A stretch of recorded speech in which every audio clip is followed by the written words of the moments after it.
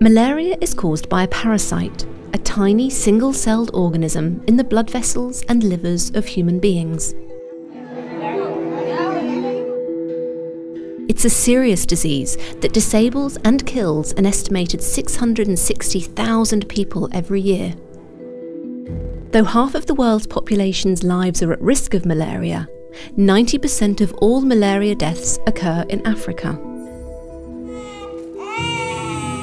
Despite medical advances, the disease continues to be a problem. It is estimated that every 60 seconds a child under the age of five dies from malaria in Africa. But there is hope that one day malaria will no longer burden the people of Africa.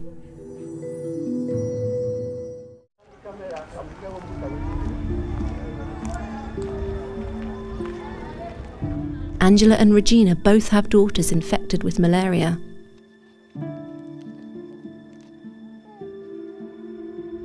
These mothers have come to the Shampandi Clinic in southern Zambia to receive medication.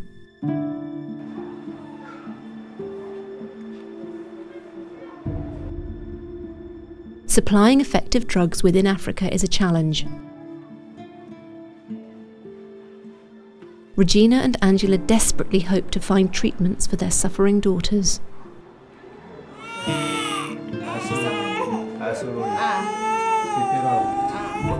Most patients who have malaria or think they have malaria or their children might have malaria might live quite a distance from where anti-malarials actually found, whether they are given away free, as in health posts, most health posts, or they're sold in pharmacies or other distribution posts.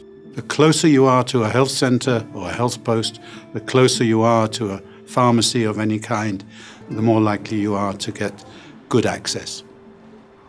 One of the biggest problems in Africa is lack of health education, which can lead to a lack of malaria diagnosis and treatment.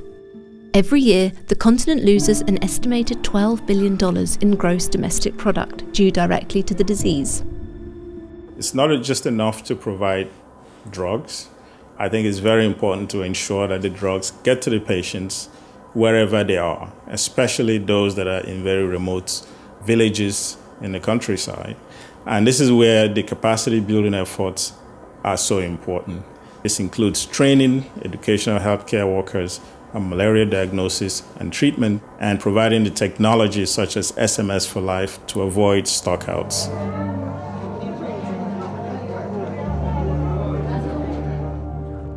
With inconsistent availability of treatments, mothers like Regina and Angela can only wait and hope for the arrival of effective drugs for their daughters.